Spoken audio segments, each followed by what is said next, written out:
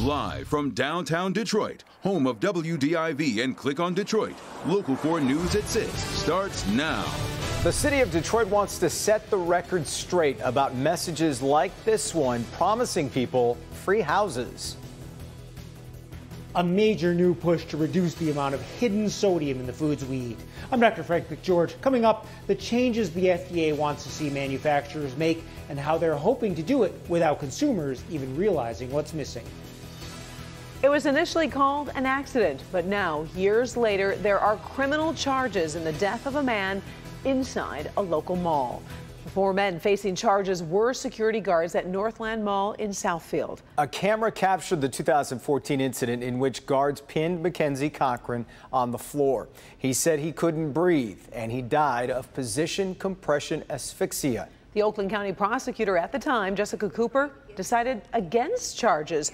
But in June 2020, Attorney General Dana Nessel vowed her office would review the case, noting similarities to the death of George Floyd. Shawn Ley live with today's new developments. Shawn. Karen, seven years may feel like a long time ago for some folks, but not for the family of this man, McKenzie Cochran. They'll never forget that day at the mall. They'll, they live with these words every day I can't breathe, I can't breathe, with security guards right on top of him. This case has now been not reopened, it's been ripped open by the Attorney General. These guards have been charged. Two are in court today. Do you understand, sir? I understand. That's Gavin King in the blue shirt being arraigned on involuntary manslaughter charges this afternoon for a tragic incident that took place seven years ago at Northland Mall in Southfield. King was working as a security guard. He and three other guards were videotaped, piling on top of 25 year old McKenzie Cochran and pinning him to the floor. Cochran pleading with the guards, saying, I can't breathe, before Cochran died of compression asphyxiation. King's attorney shocked that State Attorney General Dana Nessel has now brought manslaughter charges against those security guards. Jessica Cooper stating that there was absolutely zero evidence my client ever did anything wrong, and now here we are seven years later. The Oakland County prosecutor at the time, Jessica Cooper, found that Cochran was accidentally killed. But after intense protests and pressure, last year Cooper asked the Attorney General to review the case. Another guard involved, John Seiberling, was also officially charged. He's now working as an officer at Henry Ford Hospital. His attorney wants him to keep working as the case moves forward. In his day-to-day um, life at the hospital and his employment, he uses a gun. I ask that if you do um, allow him, if, if you could allow him to use his gun at work,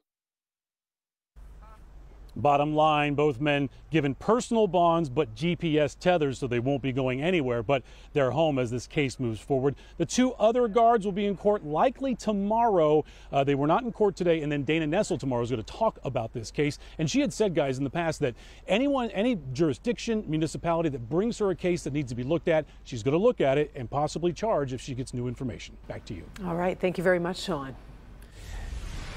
New numbers from the state show the trend in new coronavirus cases continues to move upward. The state reports 8,671 new cases over the last two days.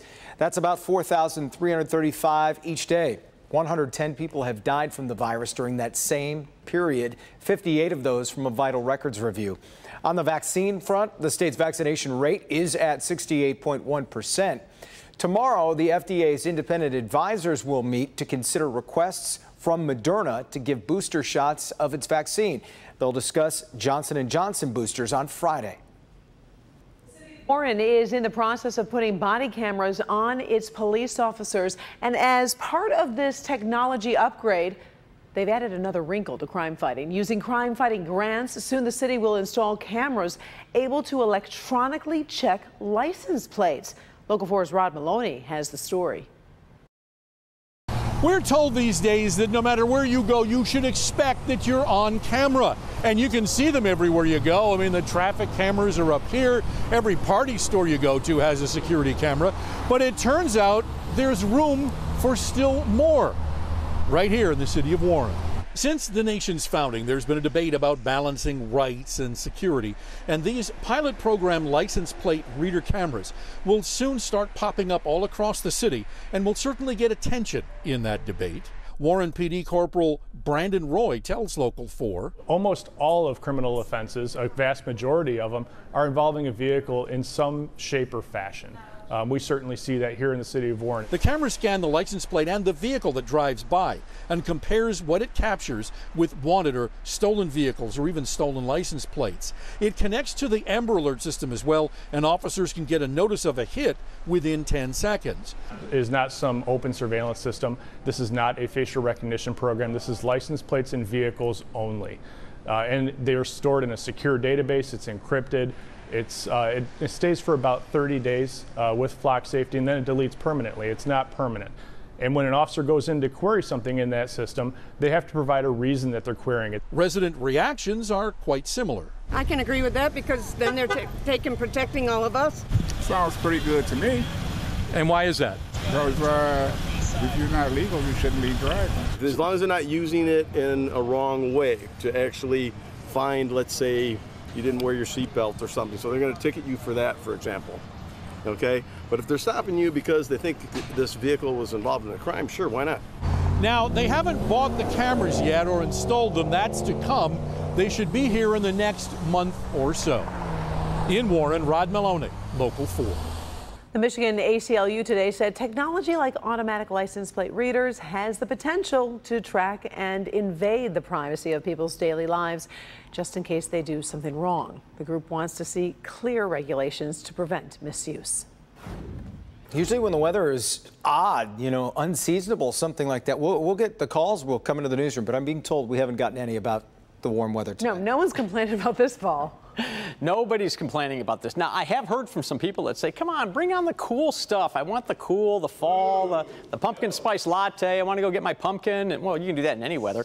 In any event, here's a Mount Clemens sky cam. You can see some of the uh, mid and high level clouds that have moved in, but temperatures are still right around 70 degrees in many areas. These dew points are in the 50s. Those dew points will climb into the 60s by the time we get into tomorrow. And here you see we're dry, and this is a weakening area of showers. By the time it gets here, we're talking about just light rain showers, nothing violent, nothing to worry about tonight. And most importantly, our evening hours are going to be dry. We're going to be falling just slowly through the 60s this evening, and the clouds are increasing, but we're dry until midnight.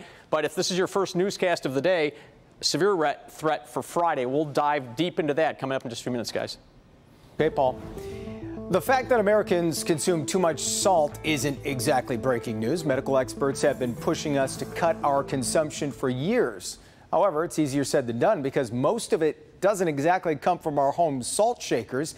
It's already in the foods we buy. So today, the FDA is taking some steps to help us regain some sense of sodium control. Dr. McGeorge is here with the changes we can expect to see in this. Hi, Frank. Hey, Jason. Yes, sodium in our food does play an important role. It actually acts as a preservative and it improves shelf life. But the fact is, the sodium content in food is higher than necessary, and it contributes to high blood pressure, cardiovascular disease, and other illnesses. So the FDA is going to help with, well, some behavioral nudges. A major move new today from the FDA to slash salt from what you buy at the grocery store or eat at restaurants. Americans should consume about 2,300 milligrams of sodium each day. That's about a teaspoon of salt. Right now, most of us eat way more than that, 3,400 milligrams on average. But the FDA's new guidelines for processed, packaged, and prepared foods hope to lower that number to 3,000 milligrams a day over the next two and a half years. That would cut out the equivalent of 60 teaspoons of salt per person every year. We believe that sodium can be reduced in a way that people will hardly notice. Most of the sodium does not come from a salt shaker. It comes from the food, the processed food people are eating, uh, the restaurant meals they're consuming. And there's no way you can take it out of that tomato sauce or that salad dressing. It's already in there. The new recommendations aimed at more than 160 categories for food manufacturers, restaurants, and food service operators, from dairy to bread to baby food. For certain foods, it may be very challenging. For many foods, it may not be that technically difficult. It may be expensive, but it is nowhere near the toll that's taking on the American public in terms of disease. Now, a couple specific things to note. These changes are voluntary. The FDA is not requiring them. Also, They are meant to be gradual and modest for a few reasons. It allows food producers time to make adjustments, it allows our collective taste buds to adjust, and it really avoids the perception that this is being forced on the public. Back to you. Yeah, we hope it certainly has a positive effect. Doc, we appreciate it. Thanks. Well, the city of Detroit is putting out a warning about a man falsely telling people they have the right to occupy vacant houses. City says the scam is the work of Ramzu Yunus. Now, he was arrested last month after an armed standoff with Detroit police, but has since been released. The Wayne County Circuit Court has ordered Yunus to stop issuing fake deeds to Detroit properties. In a Facebook post from October 4th, Yunus says his group has begun taking over vacant Detroit properties and allocating them to people for free.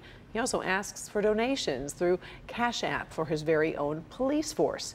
In an Instagram post from last year, Yunus promises you will be given a free home from among the hundreds of thousands of empty ones in a statement put out today, Detroit's Corporation Counsel Lawrence Garcia says Mr. Yunus is wrong about the law. There are no free houses in Detroit. Squatting and trespassing on property you do not own is a crime.